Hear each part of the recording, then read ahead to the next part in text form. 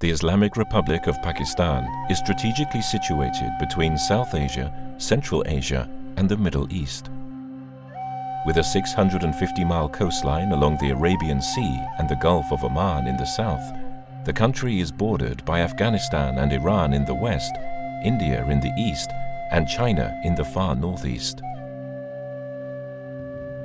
The Torghar, or Black Mountain Range, is situated in northeastern Balochistan, near the border of Afghanistan. Approximately 55 miles long and 15 miles wide, the mountain range is formed of rugged sandstone. Its northern boundary is the Kundar River Valley, whilst the Kaisor Valley forms its southern boundary.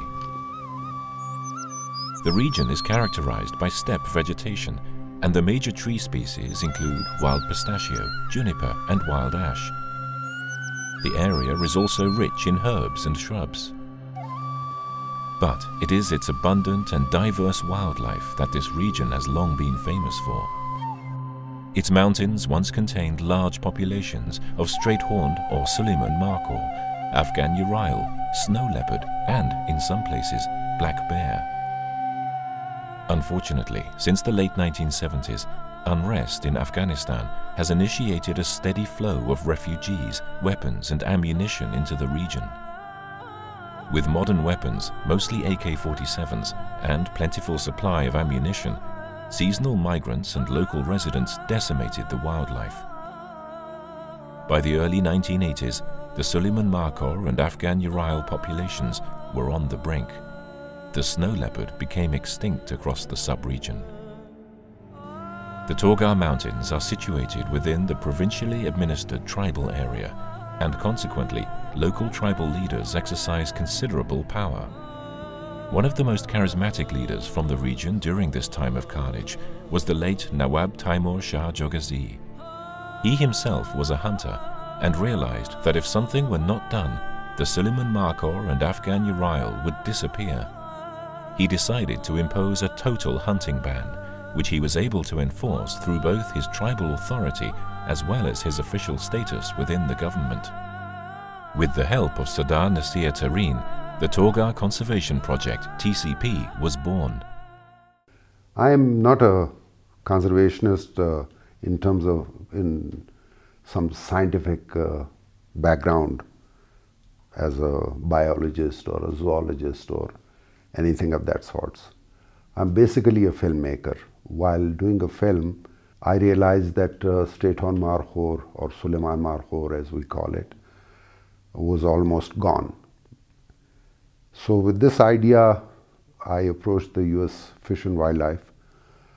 There was a gentleman in charge at that time, Mr. Dave Ferguson, and asked him if he could help the government of Balochistan and Pakistan with conserving this species that was almost gone.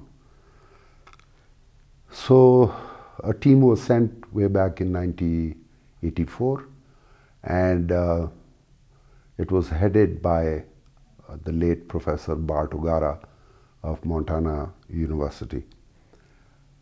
After his discussion and that of his team with the uh, bureaucrats and the other officials, they reached a conclusion that uh, the only way to save the animal was through some private efforts.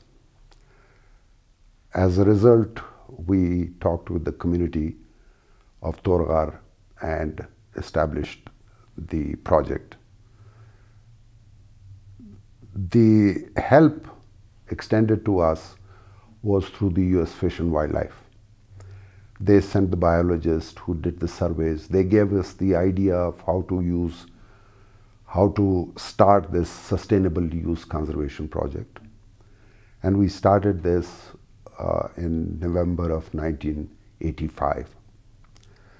At that time, the animal population, the Markhor was less than 100. Of that of Urial was probably slightly more. But the population wasn't enough for a serious trophy hunting program. The main threat to the uh, animals in Torghar was from the community because the area is outside the government control per se. And so the only thing we could do was to talk to the community as the idea was as to what will happen if once we had the population and we had a hunting program and the money will come to the community. Otherwise, it's no more than a few kilos of meat for them. And that was also on the vanishing point. So the community agreed and we started conserving the animals. The Torghar Conservation Program, TCP, and the Suleiman Markhor population of the Torghar Mountains have continued to prosper with the help of some of the world's leading wildlife conservation organizations, such as WWF Pakistan, the IUCN's Sustainable Use Specialist Group, IUCN Pakistan, the United Nations Development Programme, and Conservation Force. In short, it is an extremely successful program by which local tribespeople participate in the conservation and re-establishment of Suleiman Markhor and Afghan Urial. A small number of hunting permits are sold to international hunters and the profits from these sales fund the TCP's conservation and community projects.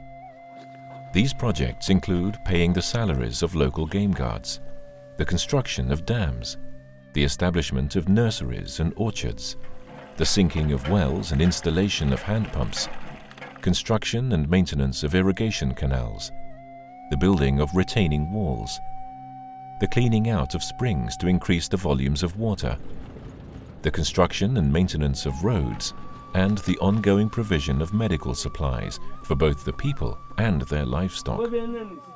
In return, the local tribespeople have agreed not to hunt any of the wildlife species of the region. My name is Amir Khusro and I belong to a Jogezai family which is a subcaste of uh, Sanjar Khair Kakad who lives in this uh, uh, area of northern Balochistan. We have uh, 500 families around this uh, part of the Torghar. They are semi-nomadics, they change their places with the time of uh, season, they are seasonal migrants. their source of income is to sell in the market for their livelihood my grandfather Nawab Temur Shah Jogezai who launched this idea of uh, conservation Torghar in 1984. It is a successful program for to conserve the animal as well as to make uh, the money for the local people. This is why important because the trophy hunting fees is essential to run the program. Some money goes to the program to manage and the rest of the money goes to the local community. These people were initially very opposite to this program and uh, now they are well satisfied because they know uh, this program that they are very helpful for them. So, this is a blessing or in disguise that the wild sheep uh, is uh, earning money for them. In 1985, fewer than 100 Suleiman Markhor were thought to be living in the Torghar Mountains region. Since the inception of the TCP, the numbers have steadily increased. In 1994, a study revealed that the number of Markhor had climbed to almost 700. Surveys in 1997 and 1999 showed populations of 1,298 and 1,694 respectively. By 2004, the Zoological Survey of Pakistan revealed that the Markhor population had grown to approximately 2,500. At the time of the most recent survey, November 2008, the number had burgeoned to over 3,100. Most of our, nearly 99% of our surveys are conducted by the American biologists. And we still consider the help from the American biologists to be of quite importance for us. The logic of the program's success is rather simple. The animals sought by hunters are exclusively older males with the largest horns. Hunting those animals means leaving the females and younger males at peace, therefore not interfering in the reproduction cycles. The growth rate is thus undisturbed. Because of the TCP's success, Tribal groups from at least seven other mountain ranges in Balochistan have expressed an interest in establishing similar programs. Over the years, it was very difficult. We went through problems with the government, the legal status of this uh, project, and also the legal status of permits that were issued by the tribal authorities at that time. Over this quarter of a century, we have legalized all that. The CITES has granted us special permits for the Markhor hunts. And uh, our income is pretty satisfactory. We have not increased the numbers of animals because we would like to keep track of the money that comes into the project as to not to disturb the uh, the whatever social ways of the mountains are. The main idea of these uh, funds are to make a dent in their poverty, their health programs, pay, and also some development. Development that does not uh, hurt the habitat and uh, disrupt the animal movement from one part to the other. Inshallah, we will have one day that uh, the whole world will know about the Torghar conservation program as well as this community. These are the people who make it this program successful and these are the achievements, these are the stories which we can uh, proudly to tell every uh, citizen of the world that look uh, come to Torghar, look the endeavors we have taken now we are having many many animals everywhere every time you can watch you can climb to the mountain. You can uh, watch many animals in in many directions. These were the achievements of this society. We are proud of Torghar. We are committed uh, to conserve this area.